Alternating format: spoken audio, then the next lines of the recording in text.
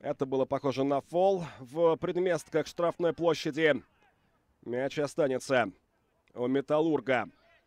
Усилиями Романа Войдаля. О, как спокойно он Кулешина развернул. Подачу организовал. Есть скидка. Момент! Штанга! И где мяч? Нет, не в воротах!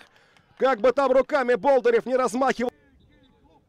Мы еще раз посмотрим. Хорош Войдель на опыте.